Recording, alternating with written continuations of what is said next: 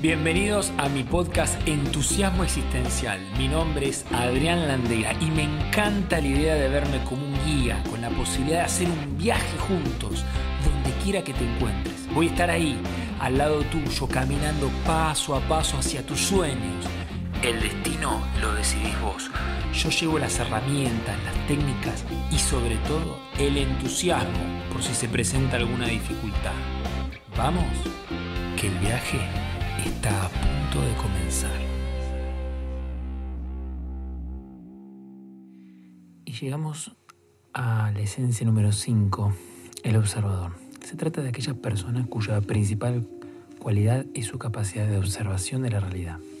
Necesitan entender y comprender las cosas, son autosuficientes y evitan ser vistas como tontas o ignorantes.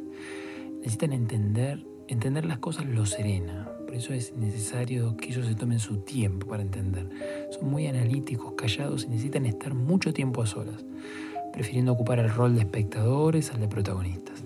Aman el saber, tienen una vida mental muy activa y les encanta la teoría, la lógica y el análisis más que la práctica. Les cuesta mucho el terreno afectivo y conectarse con la vida.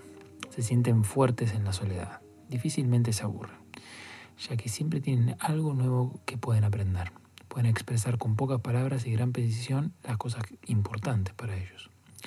Veamos algunas características de la esencia 5. Se identifican con el saber, tener información les da poder, observar sin participar para luego analizar. Aspiran a entender mejor, se sienten bien cuando son inteligentes, sabios, receptivos, objetivos. La imagen propia que tienen de sí mismos es sé mucho. Creo que es bueno porque estoy empeñado en entender las cosas. El vicio es la codicia. La pasión necesitan afanosamente acumular lo que les es esencial para el estilo de vida, tiempo, datos, dinero. Característica positiva, ser perceptivo y original. Característica negativa, ser excéntricos y aislados. La riqueza y misión, querer aprender y anhelar la sabiduría. Deben aprender a reconocerse ignorantes. Lo que evitan es la confusión no aceptan la falta de claridad.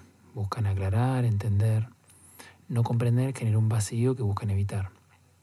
El mecanismo de defensa que caen es el aislamiento. Racionalizan lo que sienten en lugar de sentir. La trampa es la avaricia y la segmentación.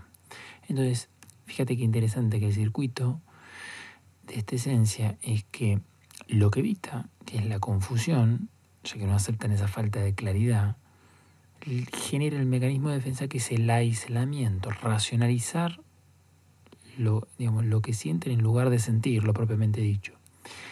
Caen en la, en la trampa de la avaricia y la segmentación. En lo mejor de su energía son analíticos, perseverantes, sensitivos, perceptivos, sabios. En lo peor de su energía,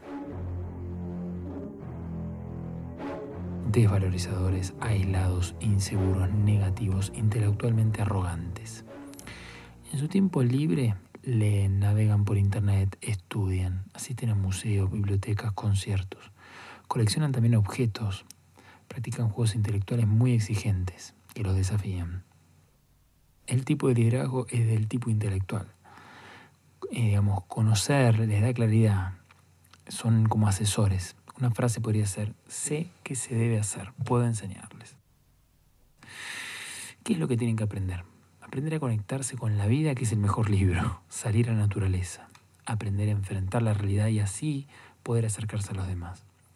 Para la evolución de la conciencia, si no aprende a relajarse y disfrutar, nunca va a conectarse con la vida e involucrarse con la realidad, ni pondrá todo su conocimiento en servicio de los demás. Entonces, ¿cómo lo ayudamos? Cuando se cierra intelectualmente no hay modo de entrar.